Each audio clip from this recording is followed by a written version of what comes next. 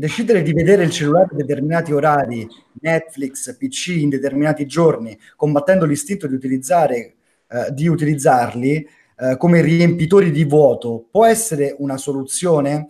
Allora, sì, le fasce orarie vanno benissimo, soprattutto con i ragazzini più, più giovani, poi perché crescendo è anche normale che un ragazzo acquisisca una sua autonomia di movimento. Anche per gli adulti è utile?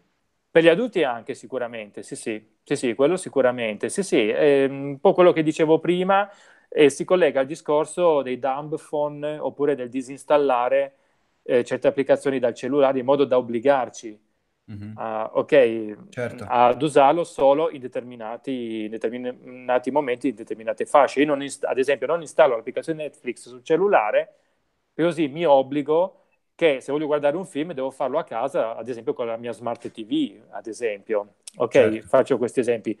Quello sicuramente aiuta tantissimo. Creiamo un contenitore, cioè, ah, pardon, un contenimento che in alcuni casi è anche fisico, perché io devo per a tutti i costi essere a casa per usufruire di un certo contenuto, e anche di tempo, questo sicuramente aiuta tantissimo. Attenz- attenzione, sempre però rimanendo dall'idea, d'accordo, ma con quel tempo che io risparmio, che cosa ci faccio? Mm-hmm. Che io e anche i ragazzi. Poi magari può anche essere semplicemente cazzeggio, va bene. Mm-hmm. ok? Okay. Però dobbiamo sempre prevedere comunque un qualcosa